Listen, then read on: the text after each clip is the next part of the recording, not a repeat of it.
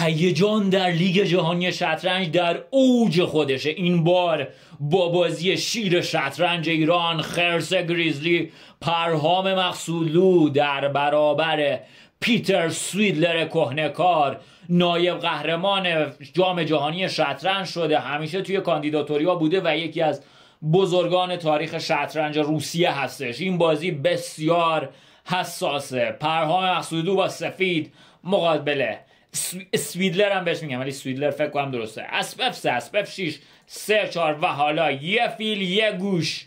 پرهام مقصودلو فیلش رو در قطر بزرگ قرار میده. دو فیل دو گوش از سمت پرهام مقصودلو و پیتر سویدلر.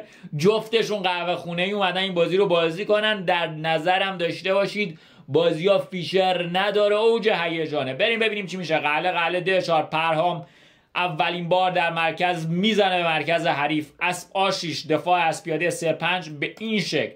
شیوه جالبیه. من اگه سفید بودم ده پنج و فضا رو می‌گرفتم. البته کار به این سادگی ها نیست. اما پرهام اسب رو می‌ذاره سه سه و سیاه فورا در مرکز با ده پنج ضربه رو می‌زنه. اسپی پنج پرهام از قطر فیل بزرگش می‌خواد استفاده قطر فیل بزرگ قطر بزرگ فیل. چه یه چیزی هست فیل فیانگتوش دیگه. ای شیش اسب وارد به پنج میشه و درگیری در مرکز در اوج خودشه دارن همدیگر رو می‌زنن. از سه هفت. بیا تعویز کنیم. پرهام می‌زنن در سه پنج. بعد که زد اسب برمیگرده سه سه. میگه نداده کجای دور بین ندادش من با شما مساوی نمی‌کنم. دو رو قبل رو به راپورت باختم. این بازی رو باید جبران کنم. از سه هفت تعویز این یکی رو عوض می‌کنم و رخ سه یک. فشار روی پیاده سه پنج.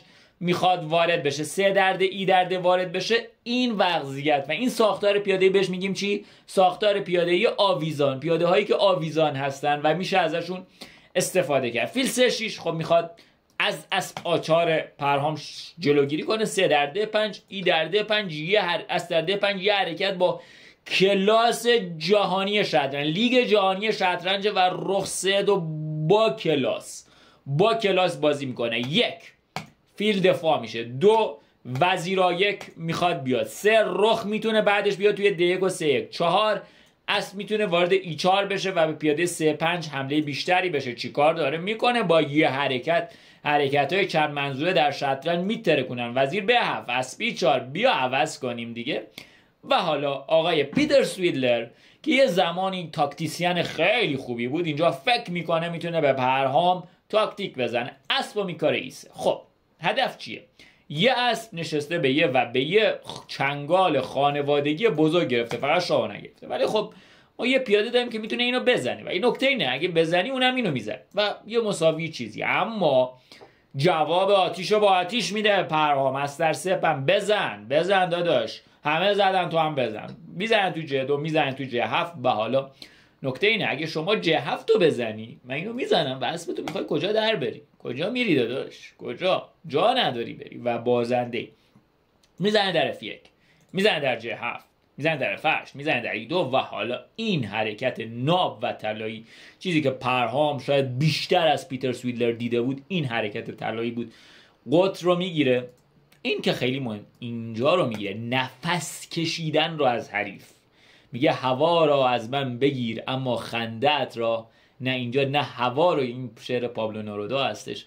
اینجا خنده و هوا رو همه چیز رو این فیل ازش گرفته. فیل افسه میشینه به اسب اما اسب تکون می‌خواد. ای پنج می‌خواد یه نفسی داشته باشه اما چهار بیشتر خیمه بیشتر و اینجا حرکت رو داشته باش. رخصه من می‌تونی بزنی داداش؟ من می‌تونی بزنی. رخصه اشکیش کار تموم فیل ده پنج.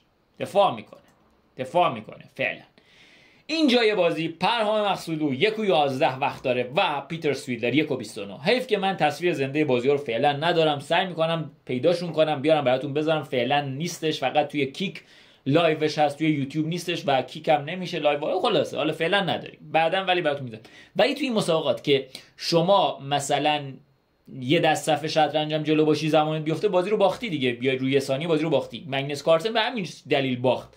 پس در نظر داشته باشین که زمان خیلی مهمه. اینجا به پرهام تا اینجا perfect بازی کرده. perfect تمام. ولی از اینجا به بعد دچار یه سری اشتباه میشه. اسبو می‌ذاره بپن ولی خب با این حرکت 11 ثانیه هم فکر می‌کنه.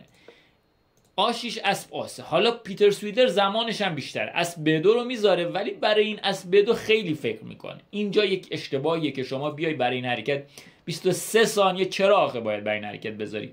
نمی‌دونم چرا پیتر سویدر رو میارن. بازیکنای باید زبر و زرنگ رو بیاری توی این مسابقات. اونایی که بل... سویدر شطرنج باز خیلی خوبیه ولی زبر و زرنگ نیستش. اسب بدو زمان برابر شد. فیل جه پنج زمانش کمتر شده ای وای من پرهام پرهام هم داره فکر می‌کنه. پرهام خیلی حالا بلیتس باز آنچنانی نیستش ولی خب باز بهتر از سویلر است و حالا زمان رو نگاه کنید. یه دوازده 13 ثانیه اختلاف افتاد پرهام میاد و اصلا فیلده پنج رو دقت کن. 26 ثانیه بیا رو 12 ثانیه خب حرکت کن داداش. یه چی تکون بده دیگه. و این حرکت خیلی زمان می‌ذاره پرهام اصلا می‌ذاره د 6 و شا اف 1 شا جه هفت شا ای دو. اصلا مهم نیست دیگه وضعیت چی میشه. اچ 6 پرهام هم خوب بازی نمی‌کنه. اینجا رو البته خوب بازی می‌کنه با وجود زمانی که از اینجا و می‌زنه. نکته اینه که اگه بزنی فیل دری پنج کیش و ته بازی رو پرهام اینجوری ازش می‌بره. این چیزی که من یواش براتون گزارش کردم اینجوری این اینو تکون میده اون تکون میده. فقط هدف اصلی اینه که زمان نیفته. بعد مثل سایت هم نیست که تو با موس کلیک کنی. باید صفحه تکون بدی دست تو دست می اصلا یه بازی همین الان داشتم می‌دیدم. نودیربک و ویدیت نودیربک کاملا برنده بود هفت دقیقه وقت داشت ویدیت یه دقیقه وقت داشت و این خاص وقت ویدیت رو بندازه. یهو باید وزش بازنده شد. بعد وز بازنده ویدیت داره 20 ثانیه. نودیربک داشت میباخت بازی رو. یعنی قشنگ آخر سر دست این تو صفحه بود موره میافتاد این اونو می... یعنی همین بوده بود مونده بود که هم دیگه رو بزنن دیگه رو بازی. خیلی اوضاع پیچیده یه وقتی فیشر نباشه.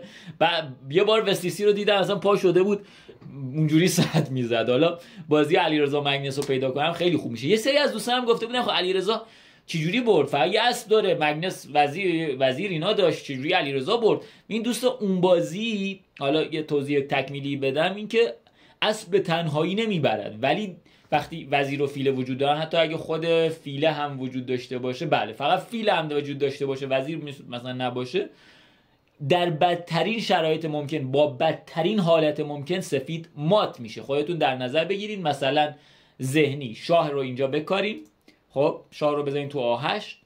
شاه سیاه رو بذارین آهش. شاه مثلا شاه سفید رو بذارین آهش. شاه علیرضا رو بذارین آشیش.